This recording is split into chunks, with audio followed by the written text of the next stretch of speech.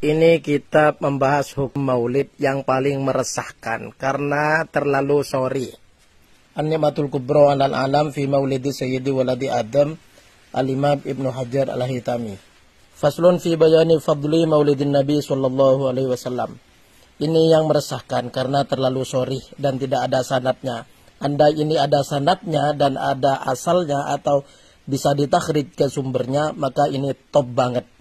Karena tidak ada sanat, tidak ada asal, tidak ada takhrid, maka ini sangat meresahkan. Saya mengikuti maulid tapi tidak pakai ini.